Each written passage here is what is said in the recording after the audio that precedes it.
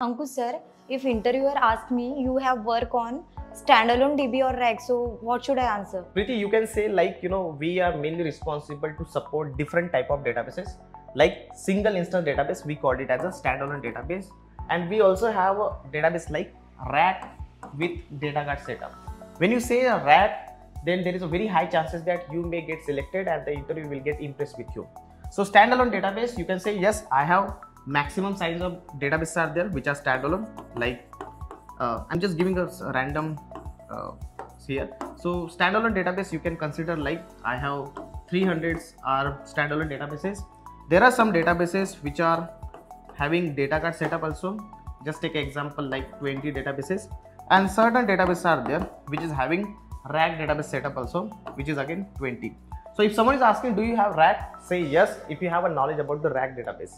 But if you don't have, do not talk about that.